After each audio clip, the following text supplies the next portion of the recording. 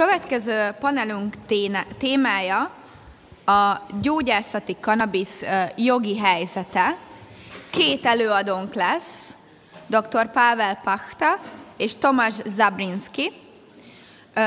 Dr. Pavel Dr. Pavel Pachta az előadását a kanabisz gyógyászati használata, törvényhozási és szabályozási kérdések címmel fogja megtartani. Dr. Pachta közgazdász, a nemzetközi drogszabályozás szakértője. Több mint két évtizeden át az ENSZ drogpolitikával foglalkozó szerveinél töltött be különböző pozíciókat. 2004 és 2013 között az ENSZ kábítószerügyi egyezményeinek betartásáért felelős International Narcotics Control Board helyettes titkára volt.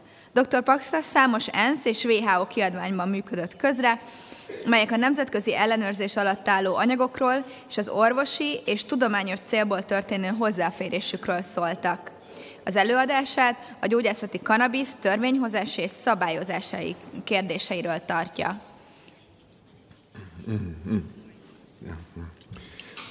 Thank you, madam. And uh, I would also like to thank very much the organizers for inviting me to this conference. Uh, to your country, which has uh, such an important history in international drug control and which is so important as far as uh, development of pharmaceutical industry is concerned. So I think it's excellent that uh, uh, we are meeting here in this country also to discuss the issue of uh, medical use of cannabis. Now, uh, I would like to try to help you uh, to look at these issues uh, a bit from a different perspective. you know, we are discussing the issue the cannabis is helping people with their medical problems, uh, on the other hand, uh, cannabis is not allowed to be prescribed in the vast majority of countries. Uh, even in many countries, it is not possible to do research with cannabis, or it's very difficult. So, why is the situation like, like this? So, uh, I would like to look at it from the point of view of the, uh, you know, those who will have to authorize and uh, allow this medical use from the point of view of your uh, competent authorities or from national regulatory authorities in various countries.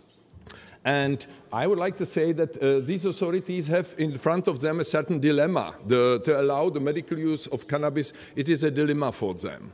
The first you know, let's discuss uh, those aspects which may bring them to authorize, which would be like the arguments for let's go into this medical cannabis.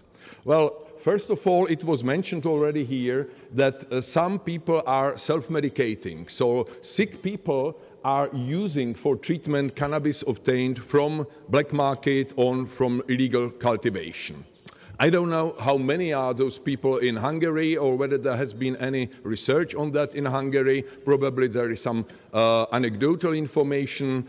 Uh, recently in the United Kingdom, they published results of an investigation. They were saying perhaps one quarter to one third of all people who are illicitly cultivating cannabis are doing this in some way uh, for their uh, medical needs because they need cannabis or are using cannabis for medical purposes.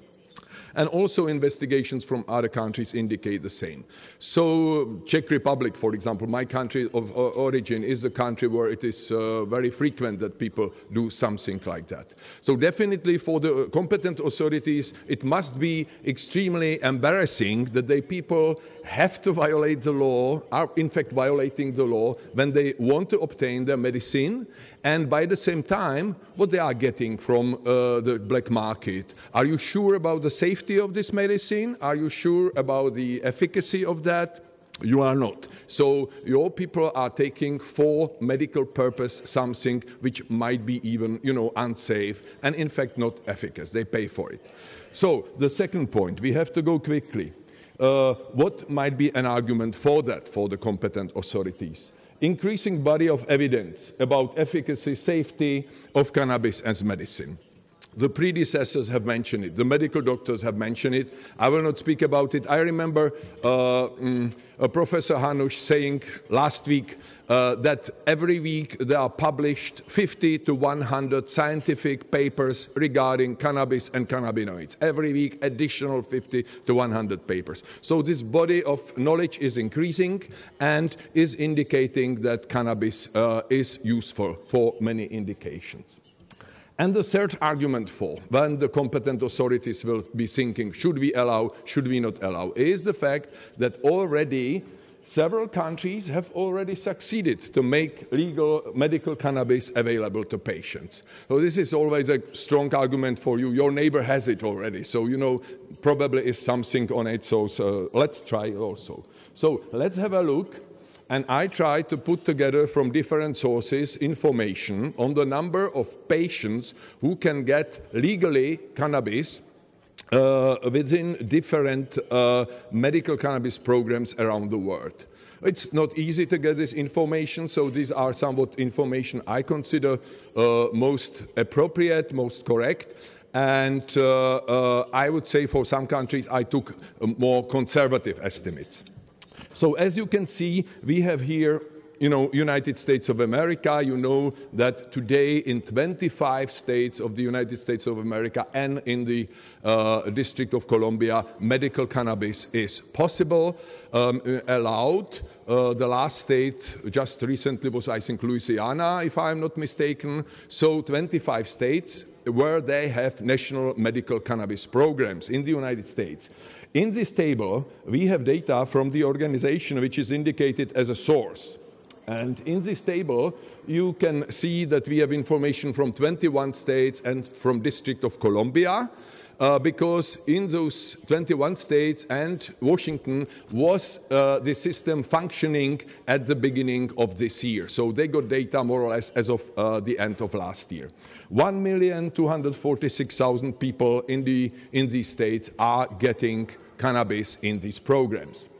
The second column in this slide is indicating, for comparison purposes, uh, the number of these uh, patients getting cannabis legally per 1,000 residents.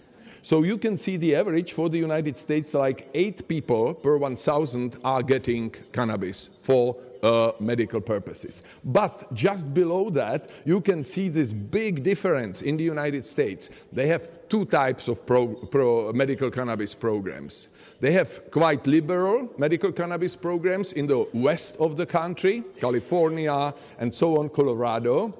And then you can see, for example, in Colorado, the number of these uh, patients is like 19.8, so almost 20 people per 1,000 residents are medical cannabis patients, are allowed to take cannabis uh, as their medicine. Uh, on the other hand, there are states mainly in the east like uh, I have here, for example, Minnesota. So it, there, the involvement of patients in strictly controlled medical cannabis programs is rather small. So you see in Minnesota is much less. On the average in the US, 8.1. USA started with the medical cannabis programs in 1996 in California. Let's look Israel. We have heard uh, Dr. Eyal Resnick from Israel today. So this is a country with uh, a lot of experience in medical cannabis. At the end of last year, around 25,000 people getting cannabis. It's about three per 1,000 residents in Israel. And then Canada has already a lot of experience 1.2. I really am limited by time, so please, this is the slide. This gives some of this information. You will find Netherlands, you know, very famous in Europe for this medical cannabis programs from 2003, but my a bit optimistic estimate, 4,500 people getting it uh, uh, from pharmacies uh, would indicate like only 0.3. Of course, in uh, Netherlands, they have their coffee shops. Some of them get their medicines st still from the illegal or quasi illegal or uh, you know uh, uh, from from coffee shops so not uh, really medical cannabis from pharmacies czech republic italy started recently dr zabransky will talk about czech republic so I will not. But you can see Germany is preparing a very important, I think, program in medical cannabis for 2007 to 2009. It is now for approval. That will be really very important testing of medical use of cannabis. They will be cultivating in Germany. So I think it will be very useful. And then other countries joining. Recently, Australia, Chile, Colombia. So uh, we have mentioned, we have come back from Macedonia. Other countries are joining and establishing their national cannabis programs. Now, is this, for example, for the United States of America, 8 per 1,000 residents, is it too much? Is it too low? Who knows? Uh, I'm not a medical doctor. It's difficult for me. What I would like to compare, I'm comparing here. Look at this slide. This is a slide which is based on the information governments report to the International Narcotics Control Board. This is the consumption of opioids controlled under Narcotics Convention of opioids uh, in the world. And I put some of these countries which uh, have medical cannabis program. I put also Hungary here. And you see how many people in these countries are getting uh, strictly controlled opioids uh, per thousand of residents in those countries. So in the United States of America, 50 people are getting uh, uh, opioids, while only eight medical cannabis in these 21 states. In Canada, which is known for their medical cannabis program, 31 are getting opioids, uh, three are getting, uh, no, Canada, uh, one, one person is getting, getting uh, medical cannabis. you know, uh, this wants to say that uh, sometimes we are very careful about you know, how cannabis should be controlled, and that's a substance which we have to take very carefully. On the other hand, on the other hand, we have a large consumption of strictly con controlled opioids, for example. If you look at the next table, I put here uh, anxiolytics, sedative hypnotics, some countries report already to the International Narcotics Control Board on their consumption. Your country is uh, an important consumer of all these countries. So uh, cannabis can be also used, we have heard from the doctors, uh, as a hypnotic, as a sedative, as an anxiolytic, perhaps could substitute for some of these controlled substances. So sometimes governments are not so much afraid that they consume already so much controlled anxiolytics but if they would con consume a bit of uh, you know, cannabis as an anxiolytic, uh, they might be concerned. So this is only you know, to, to, to think of it, that uh, situation is like that. Well, let's go again back to the competent authorities. Imagine that you are in a competent authorities. And uh, what would be the arguments against? Immediately, you know what comes in your mind. If you are somewhere in the ministry and deciding, should I approve, should I be for cannabis, medical cannabis project or not? The first issue I think would come to your mind is medical cannabis, would it be a Trojan horse for legalization of a recreational use, of recreational use of cannabis?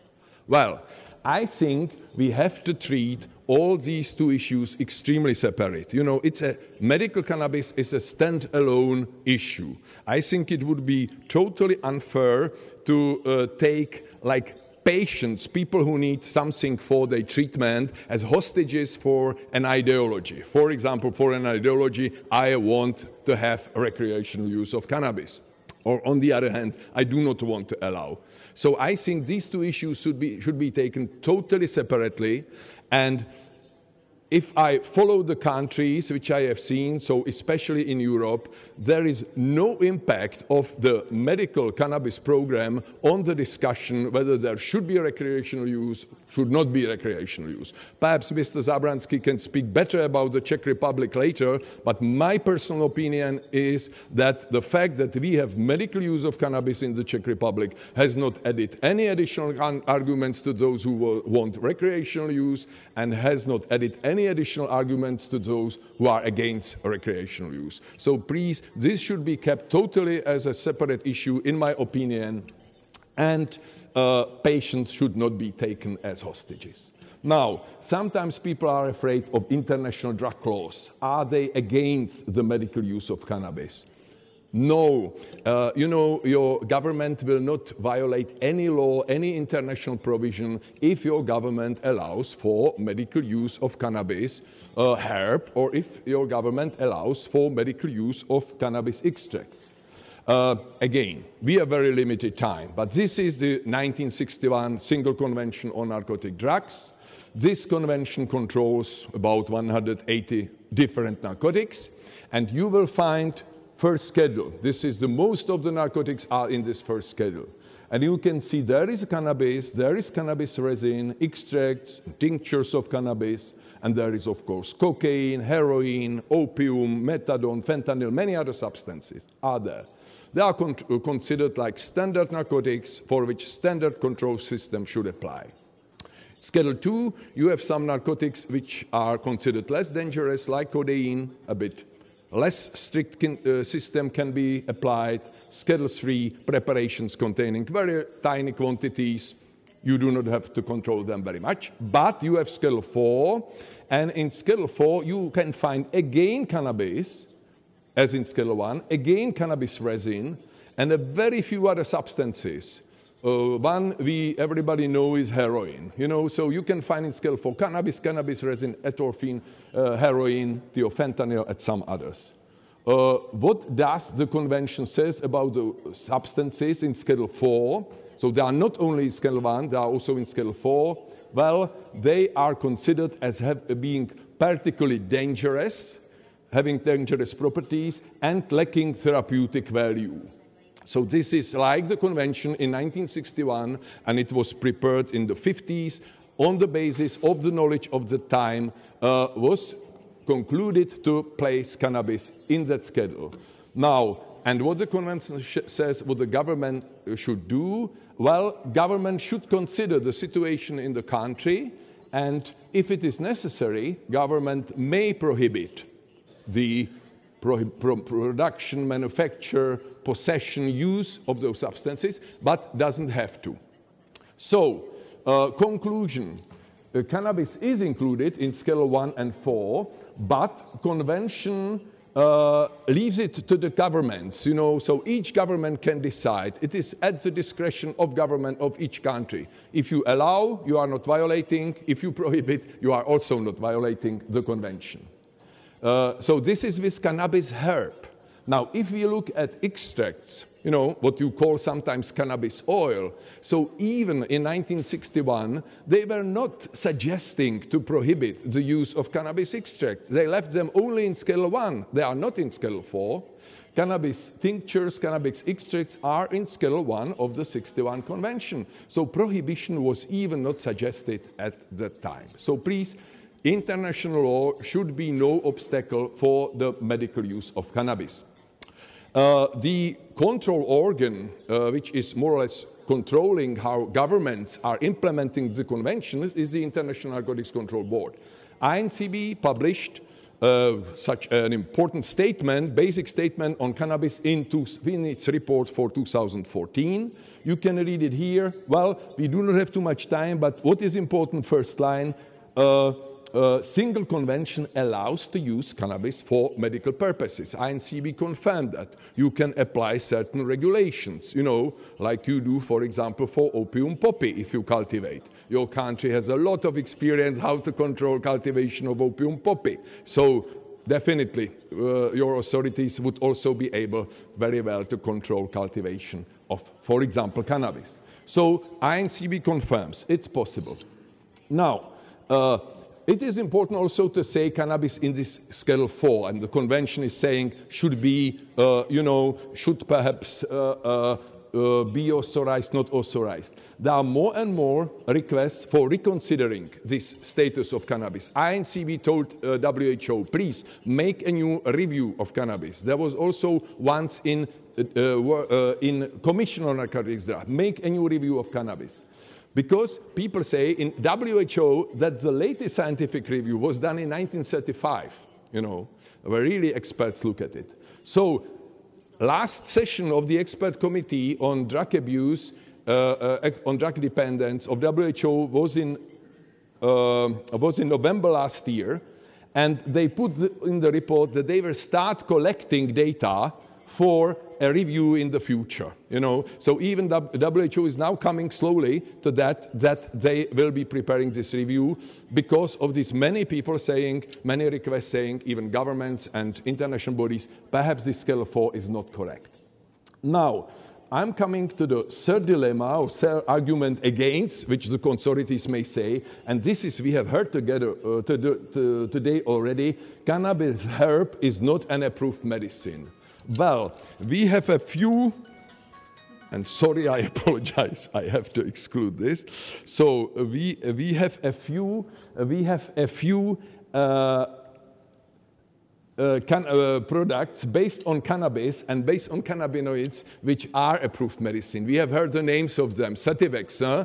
we have heard the name of Marinol. So Sativex, this is a product which was by the regulatory uh, authority in the UK uh, confirmed for the treatment of spasticity for MS. You know, uh, you, we have heard Marinol synthetic THC was registered in the United States. So so there are some registered medicines, yeah, but not the cannabis herb. So what about the cannabis herb? And we know that we have countries which have medical cannabis programs with herb.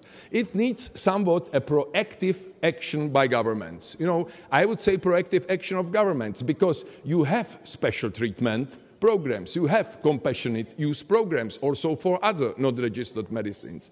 And what I really like is this and I will be finishing uh, shortly. This, if you open the website of the uh, Ministry of Health of Israel, of their cannabis agency, so you will find this slide, and they are saying, medical cannabis is not registered as medicine, and its efficacy and safety when used for medical purposes has not yet been established. Nevertheless, there is evidence that cannabis could help patients suffering from certain medical conditions and alleviate their suffering. The Ministry of Health wishes to remove obstacles to the supply of this drug to patients who could benefit from it medically. So you see this proactive approach in Israel. They know it can help. They know we do not know yet everything, but it can definitely help. So they themselves try to remove obstacles. And as we heard from our colleague, doctor from Israel, they are still very strict. They are checking that it is not misused.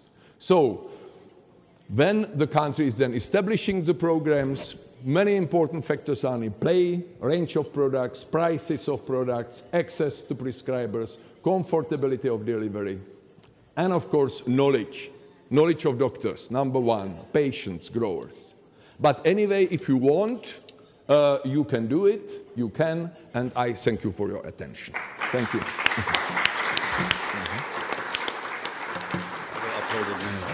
okay. Thank you for uh, this clarifying uh, presentation about the legal implications and also providing answers to the dilemmas or uh, arguments that, uh, that uh, health authorities may make. És akkor most megnyitnám újra a lehetőséget arra, hogy kérdezni lehessen dr. Pachtától. Rengeteg tapasztalattal rendelkezik, úgyhogy megkérném azt, hogy akinek van kérdése, azt jelezze, ezt viszünk mikrofont, és, és a nevét, illetve a, a szervezetet, amit képvisel, hogyha van ilyen, akkor mondja. Uh-huh. Uh-huh. Yes. Professor úr?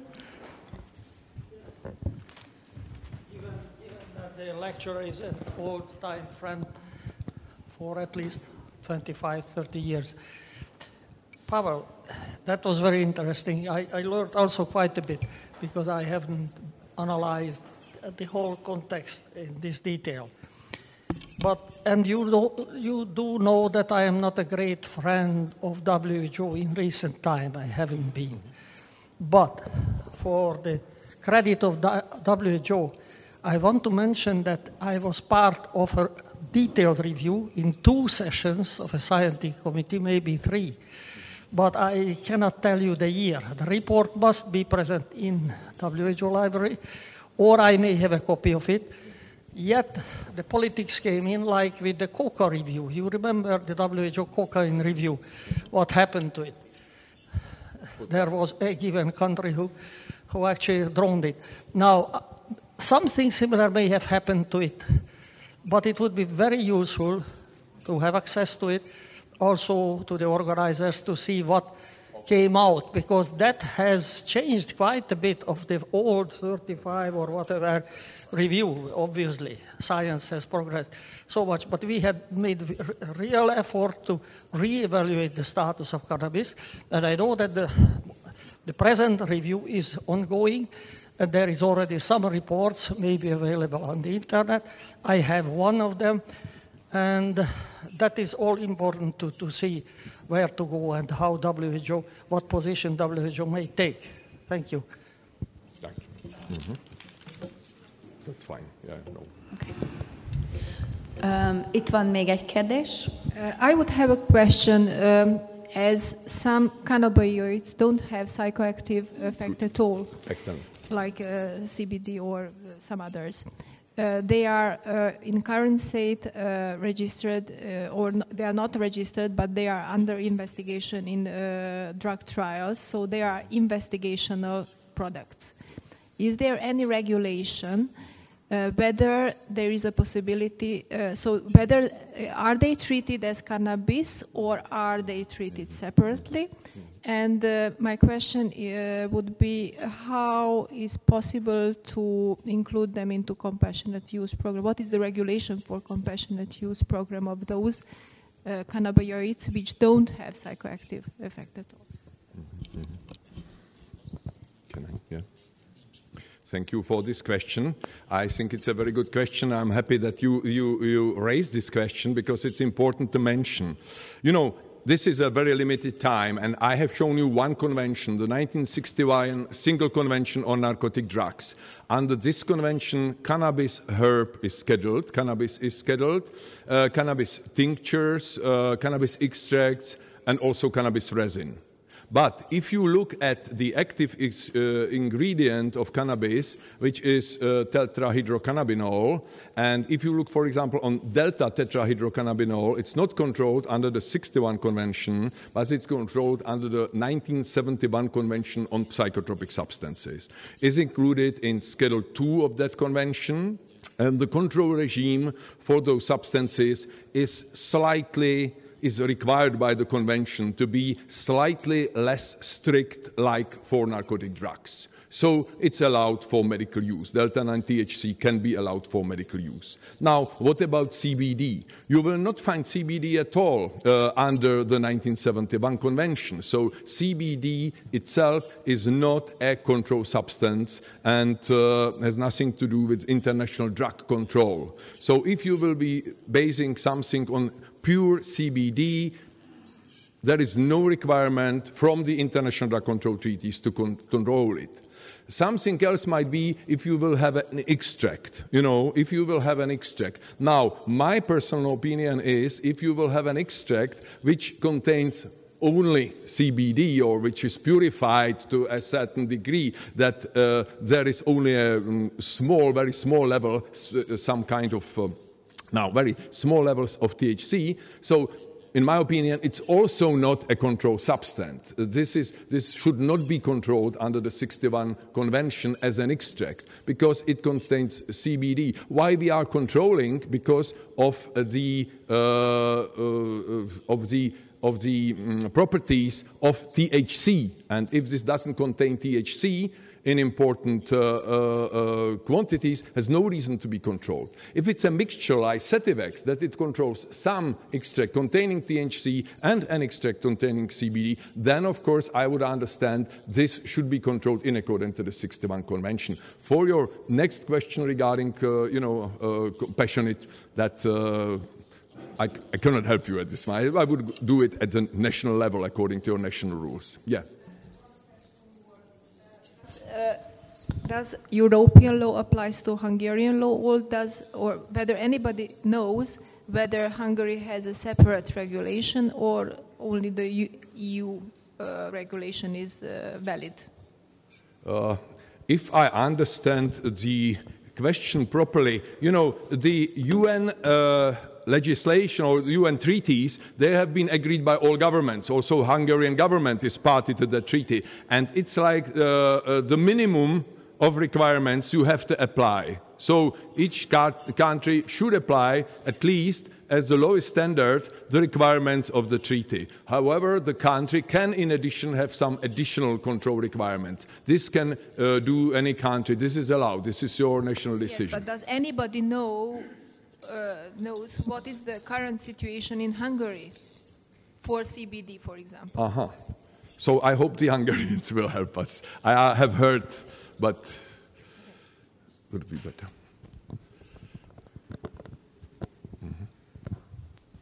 Thank you. I, I know that uh, here in Hungary it is legal to have CBD. Yeah. So you have uh, you have uh, industrial hemp which contains CBD, and you can grow that. And there is a place you get a permission to collect the the buds of the industrial hemp which contains CBD. So that's what I know. Um, and we will have a panel. Do you hear me? So we will have a panel in panel in the afternoon, uh, precisely about the Hungarian uh, regulations. So if there are any more, if there are no more questions to Dr. Pachta, then I would uh, like to introduce uh, our new presenter, Dr. Thomas Zábranský. Um, A gyógyászati kanabisz engedélyezésének folyamata Csehországban címmel fog beszélni. Dr. Zabrinski, aki számos kutatás és fejlesztési projekt résztvevője a Prágai Károly Egyetem addiktológiai tanszékén, és saját kutatói és tanácsadói vállalatát vezeti. A cseh miniszterelnök drogpolitikai tanácsadója, és a cseh egészségügyi miniszter gyógyászati kanabiszért felelős szószólója.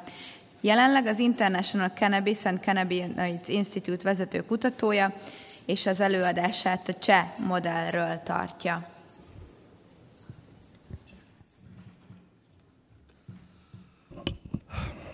Thank you. And welcome. And thank you for inviting me. It's a great pleasure to be in this nice city and to share the experience we have. Uh, and it's also great to hear I'm new. I mean, my wife would never believe. Uh, so, uh, first, uh, let me acknowledge the co-authors. Uh, Professor Tomáš Zima, who's now director of the Charles University in Prague, and um, uh, Dr. Lenka Teska Arnoštova, who's the Vice Minister for Legal Affairs of the Czech Ministry of Health uh, which tells you a little bit about where we are with the medical cannabis in the Czech Republic now. It's no more seen as controversial issue in terms of should we do it or not. However, there's still a lot of questions open how we should do it. And uh, so let me show you how the country where Franz Kafka was born has dealt with it. Uh, my for speaker Lumir Hanuš basically preempted half of my presentation uh, with the history. I like him still.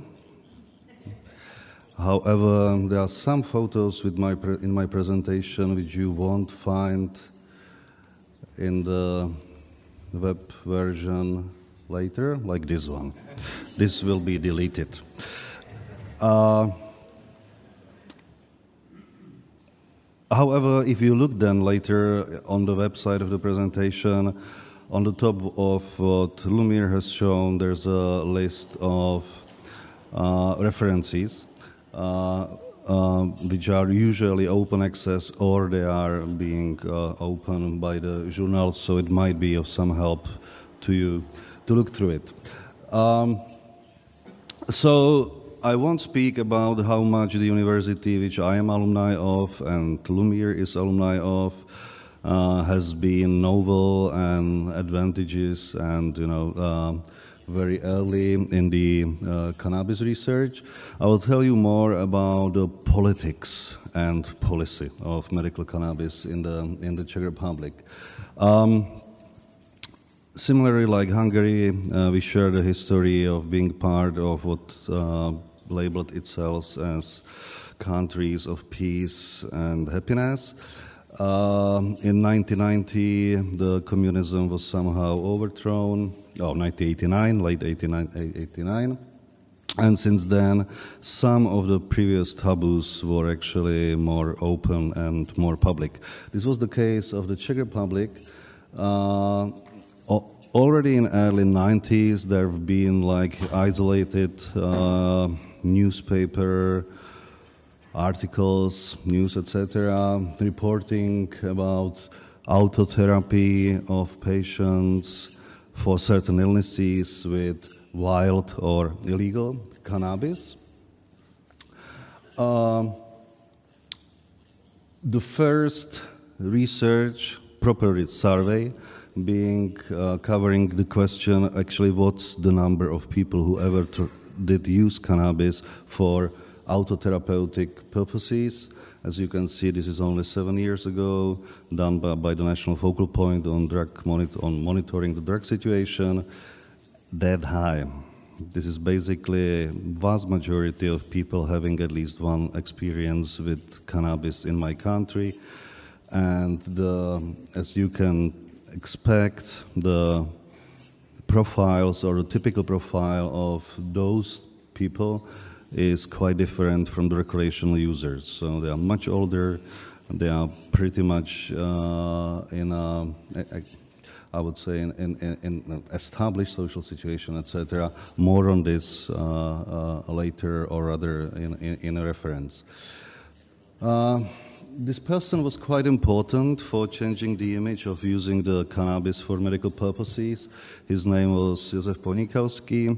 He was a sufferer. He was suffering uh, with a Parkinson disease, and, and he was extremely open in telling the media and anyone interested. He was a very like communicative person. What he is doing, why he is doing it, how long he is doing it and how it does help, and um, as well as his relatives. So this was widely covered by the media, by the TVs, by the most popular journals, etc. And it started to be like well-established topics for the media, which was an important shift actually uh, for for the uh, debate. It took some more time. There were several attempts how to make the medical cannabis a political or legal issue, most of them uh, unsuccessful, also because there was uh, lacking uh, political support. So in 2010, uh, in April 8th, um, there was the parliamentary seminar on medical cannabis, which was then being run under the patronage of then the dean of the medical faculty, who's again co-authoring this presentation. And the then Minister of Interior, however, he has a background of medical doctor and lawyer, uh, Ivan Langer. So those two share the patronage. Uh, they've been speakers. Some of you you've already seen or see. Um, they were also people like uh, deputy ministers of health, deputy minister of interior, head of the National Drug Squad of Police, the head of Food and Drugs Administration, Czech Republic, etc., etc., and the discussion went very well.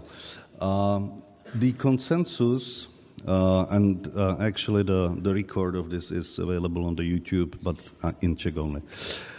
Uh, there's a consensus of all the people involved, including the Ministry of Health in that time, that there's a need to provide legal supply of cannabis for patients who are diagnosed to use it according with EBM, which is the abbreviation for evidence-based medicine. Uh, okay, that, that, was 8th April. Uh, however, the same Ministry of Health who said this or signed this uh, developed no activity within the next year. Uh, few photos. You know that guy? That's the guy who stole my presentation. Uh, that was the head of the FDA. You know this bald head probably. And uh, this is the chief of the uh, Institute for the Prevention of Crime and Related Social Issues, I think is the proper. Uh, and this seminar took part in the parliament uh, in a hall which was lended to us, the organizers, I was involved. Uh, by the parliament, it was the hall for something like two, no, 180 people. We ended up in 320 and then we closed the door. So, so there was quite a uh, unexpected, to some extent, interest. This was the head of the uh, Association of Multiple Sclerosis Association of patients who are treating them, themselves with medical cannabis illegally. That was the, the name. Uh, a very brave person. Uh, once again, the theft of my presentation. Uh, and here another look into the into the uh, into the audience. Okay, so and again the guide. So so so then we had another year, no activity from the Ministry of Health, who would be a logical, uh, okay, executive part of, of the society responsible for making this actually reality. So so um, after a year in 2011, Dan Dean, now rector of the Ch- of the Charles University, Dan Dean of the of the medical faculty, actually asked the Ministry of Health. Okay, so we had a meeting, which I was actually uh, a patron of, where we are in this. Uh, the answer was rather bizarre. Once again, the dean of the first medical faculty who's one of the most established scientists in his field of biochemistry, is asking his Ministry of Health where we are, and the Ministry of Health says nowhere because nobody is interested. I was looking at it, asking my dean, okay, so you are probably not interested, even if you are sending a letter. Strange. Um, however, that was that was again Uh, where we were, and the situation seemed to be in rather a dead end. Like, okay, if the ministry is not interested, what can we do? However, here again, the NGOs and specifically the associations of patients and activists being quite interested in in the life of the patients were really emailing, asking, trying to meet in person, etc., etc., so that in May, uh, a group of people, which I had the privilege to somehow coordinate, decided to try, as one of the least possible ways, uh, to put together a petition. Uh, in the petition committee, and that was probably important, uh, there was a number of deans and ex-deans of medical faculties. I mean, the former, then dean of the medical faculty in Olomouc, the dean of the medical faculty in Prague, etc., etc. Other scientists, Lumir Ondrej Hanuš being one of them, uh, patients, etc. It was the 12th of the of the committee. Um, it was uh, published in the August 2011 with extremely swift reaction of this person who was then extremely important actually for the process. That was the head of the lower chamber of the Czech parliament, the right center party, uh, Ms. Němcová, who actually called me after she saw me on the TV asking, What can I do? So, can we meet? Uh, so, we met the next day. Uh, making long story short, uh, uh, she actually made the prime minister to establish a speci- special expert committee whose task was to prepare the legislation which the Ministry of Health actually refused to prepare, which somehow uh, created a special relationships with, between the medical cannabis um, activists and petition and the law, and then Minister of Health, as you can imagine, because it was seen as uh, trying to jump over his head, which was actually true. Uh, however, it also somehow marked the support of the high level politicians, including the Prime Minister. Uh, the head of the of the work group was again now director of the of the Charles University, Professor Zima. This is uh, the head of the National Drug Commission, and you know that guy.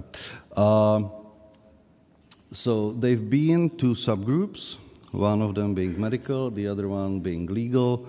Uh, each of them being led by this very sufficient manager, Professor Zima, being tasked with very, with very like clearly uh, uh, expressed tasks, which you can uh, which you can see here.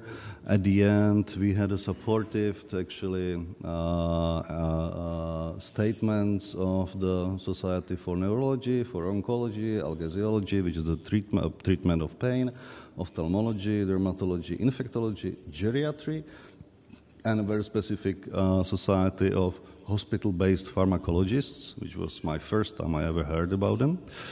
Uh, and did a review of the scientific literature, uh, which was not that different from what you've heard uh, from from Lumir and also uh, Dr. Reznik, uh, etc. Uh, the legal group reviewed different legal models: Israeli one, Canadian, as it was in that time, Austrian, as it was in that time, Spain, with it, which its medical cannabis clubs, Netherlands, etc. At the end, after two months, we had something like a very uh, exhaustive and and very uh, mm, large reviews, and within another one and a half months, by December 21.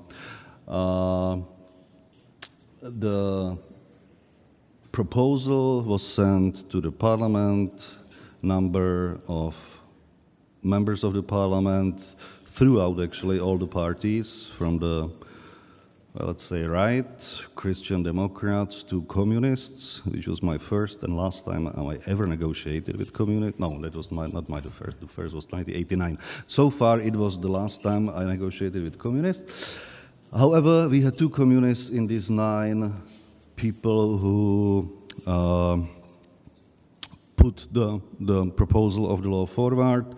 Uh, there was a little bit of fights with the Minister of Health who was against it and tried to the government to block it, not very uh, uh successfully. Importantly, uh, the whole law was being prepared explicitly and also in the content in accord with the UN treaties and specifically with the UN Treaty of 1961 as it was covered by uh, Dr. Pachta. Uh, so we established the National Cannabis Agency as the, as the single treaty is requiring us, etc. Uh, so we had these nine members of the parliament. I told you already, two of them, uh, one of them being a communist actually. Uh, there we have like this two-chamber parliament. So the House of Commons, the lower chamber, approved it by 126 votes of 154. In other words, constitutional majority. And the same, even more overwhelming, overwhelming, even bigger support we actually had in the in the Senate, which is the upper chamber. So at the end, if this, if we would need a constitutional law, we would have it. Uh, but. Uh, that was not the case. By February 15, it was signed by the president, probably the last law being signed by then President Klaus, and it came into force uh, by March uh, 1st, 2013. That was the law. However, the Minister of Health then, whose name was Leoš Heger, was still in his chair. He didn't succeed to block the law in the legal or parliamentary level, which is under strict public control.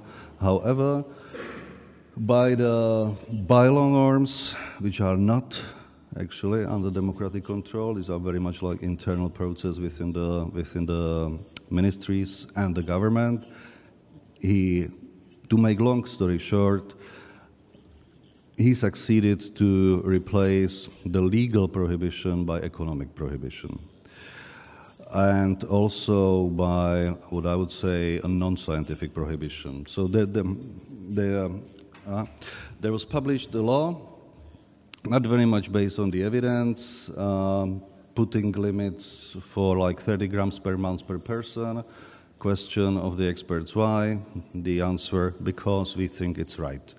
We said, okay, but this is actually not very much based on the evidence. Anyway, it stayed there, and there have been other. Um, uh, uh, um, provisions which basically blocked the whole law. So instead of, as the bylaw norms are expected to, to make the law working, we had a law which was emptied by the bylaw norms uh, in that time. Um, there was this uh, monopoly of the Dutch company Bedrocan. Nothing against them, they are great guys, but every monopoly sucks. Sorry for not being diplomatic. Uh, there was the prohibition of uh, using the cannabis for persons younger than 18, etc., etc. Um,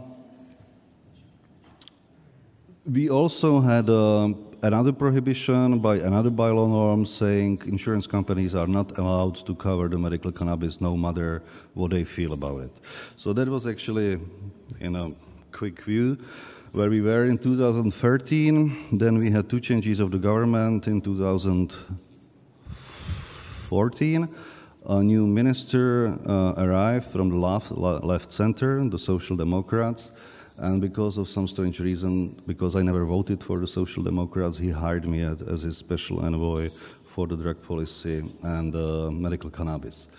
Since then, we are working on trying uh, somehow to change these bylaw norms to do it in accord with the rules, it's much more difficult than to do it not in accord with the rules, as it was done before. So it took some time. Uh, we also tried to overcome the, the, the, aloof approach of medical doctors, which is normal. I mean, this is not the first new or novel treatment. I'm somehow trying to, to help to to implement. It was the same with the substitution treatment for opioid dependence in late 90s.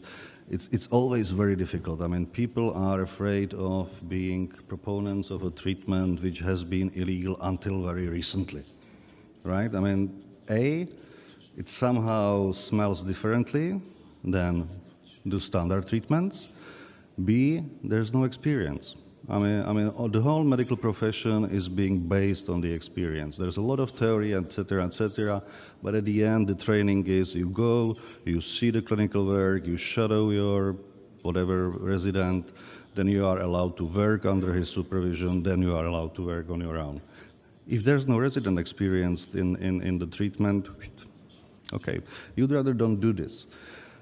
Uh, and there was basically no institutional body uh, which would be either tasked or even authorized to provide trainings or education in the field. Meanwhile, several things happened. I told you we are working for almost two years on establishing the bylaw norms. So we have a, a we have a first domestic grower, which is much cheaper than the imported Dutch cannabis. Right now, it's about three euro per gram of the medical cannabis, and there's expected that as more domestic growers arrive, the price will go even lower, and as we have more patients. Uh, in the new bylaw norm, most of what I feel non-evidence based provisions were removed. The only one which I would love to see being removed, but not our pediatricians, is the age limit of 18. Um, there was a little bit of discussion between the neurologists slash epileptologists and the pediatricians. Pediatricians won, but I think this is not the end of the fight. I hope so. Uh, we have a lifting of the ban of coverage of the medical cannabis by the insurance companies very recent, about one month ago but this doesn't say they should cover. So, so we are, so that's yet, there are now, now, now actually the insurance companies have their say and it won't be easy. But we somehow moved forward and, and we see what will, um, we, are, we already started to negotiate with few, uh, with the biggest medical uh, insurance company uh, and the other two. And, uh, Well, I would say I'm the mixed pessimistic optimistic as always in this case. Um, we have research grants on the clinical trials uh, being applied to the, to the proper agencies, uh, waiting for the response. Um, I mean, th this is a very confidential procedure, so we know very little actually what, what are the approaches of the people who are responsible for uh, the scoring. Okay, quick overview uh, about the Czech situation. We have, since November 2015, the change of the blocking bylaw norm. So, so to say, now we have the maximum monthly amount, 180 grams per month per patient. This is mostly for people who are expected to benefit from preparations being made magistraliter from the herbal cannabis, such as extract, etc., and then people who would use herbal cannabis itself. Uh, we have the age limit. We have the order uh, being lifted. We have the Czech cannabis, which is about one third of the cannabis, uh, of the Dutch price of the cannabis, and we expect to, to go even lower we applied for a special sub-society of the Czech Medical Society, which, would, which is called now the Czech Medical Society for Treatment with Medical Cannabis and its research of the Czech Medical Society of Jan Evangelista Purkyně. Uh, waiting for the appraisal or uh, the comments of the presidency of this Czech Medical Society, which is responsible for the, among other things, for the education in the field. I mean, all of this is being done specifically because we feel we need a long, lifelong education, how to treat, how to deal with the medical cannabis for the medical professionals, doctors, and medical nurses. For more than a year, we negotiate with um, uh, Israeli government and quite recently with Israeli Medical Association, Dr. Leonid Eidelman, about providing the training to the Czech doctors right now the preliminary term is uh, September for 20 medical professionals who should learn from the Israeli experience. The main message, okay, uh, that's because I said there's no golden bullet, but then I looked to the internet and I saw golden bullet actually there. I, I somehow blared the producer of this, but this is called golden bullet pipe, and I don't think it's for tobacco. Um, However, in the medical cannabis policy, I think being in since 2008 probably, and, and, and traveling around the world, there's nothing like a golden bullet. I mean, there's, there's no good policy which would solve all the problems you face. What seems to me is looking to Israel and looking to Canada and looking to Netherlands and looking to Switzerland and looking to my country and Germany, etc., you are either fast or perfect. The fast countries have now a big coverage, but right now they are fighting with the authorities, like Israel, to some extent. The wannabe perfect countries, like my country, we have no problems with INCB, we have no problems with anyone, we only have only 55 patients. So, uh, uh, I think that the perfect, and I'm not the first who says this, is the worst enemy of good and feasible and, and, and, and, and realistic. So there should be always a compromise. There should be always a compromise which is based on the national environment and the national values. I think that the patients, without the direct input of patients, you are lost. I mean, you can't do this from above, right? I mean, there are countries where you can do it from the roots. This is not my country. We did it somehow from above. But again, I mean, the patients were extremely important.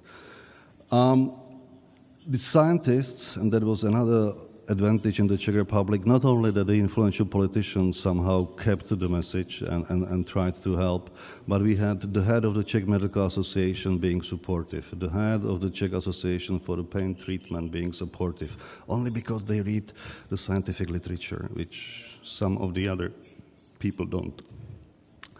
Uh, it seems to me in Israel, Canada, and elsewhere, the people were somehow prepared for the political window when it came, being in a trial in Israel, being in a trial in Canada, being in the supportive political garniture in the Czech Republic or elsewhere. What I think is important is being prepared for it. I mean, the moment would come, and you can help a little bit with education of the media people. So this is where I stop. This is the ICCI, the International Cannabis and Cannabinoids uh, Institute. Uh, here's its uh, web address. If there are medical students there, we might hire during the summer and autumn on PhD and postdocs for projects. So feel free uh, to write me to this address. This is the Charles University. This is my address of the, wearing the hat of the medical uh, of the Ministry of Health, and uh, save the date. There was the first year of the conference uh, one year ago. There will be another one. It was successful. This will be even better. And uh, there's the address where you can see uh, the presentation, including the stolen part uh, uh, by Lumiere. And I would like to thank you for your attention.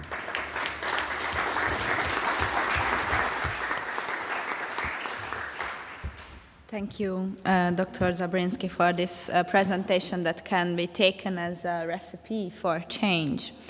Uh, and if I may, I would like to ask the first question now. If you could highlight any uh, specifics to post-Soviet countries from this way, because you know Hungary and Czech yeah. Republic are post-Soviet countries, post-socialist countries, and there are some specifics that uh, apply to our countries that doesn't apply to others. Uh, I mean, I, I, I was speaking about these different types of, of, of the change. And I, and I think that in the post-Soviet, uh, well, actually, I'm not post-Soviet, post-communist or post-real socialism or whatever, all the labels for being non-democratic were. Uh, I, I think that because of our heritage, it's probably impossible to have this brave activism making a change, as we saw it in the United States and Canada and Israel and elsewhere. That is, not to wait for the legislators to make a change, but simply to behave the way how you feel that's correct. I think that after 40 years, our activists are a little bit different. I mean, you know, uh, like we are activists, but uh, if we can pay by this, uh, whatever, if if we were allowed to be activists, or if there's a little bit less risk than the activists in the countries with more democratic, with longer democratic experience do have. So, so, so, so I think that's the main issue. I mean, I mean, Israel didn't wait for Knesset allowing the medical cannabis. Canada didn't wait for the parliament for allowing this. I mean, the same for United States, where even the states actually said to the federal government, take care for your own business, okay? So this is not as much I can understand my part of the world actually pretty much realistic. So, uh, so we need to work with the politicians in the media much more. This is nothing against the activists, but I don't know about any cannabis social club in the post-communist countries. There's a number of them around.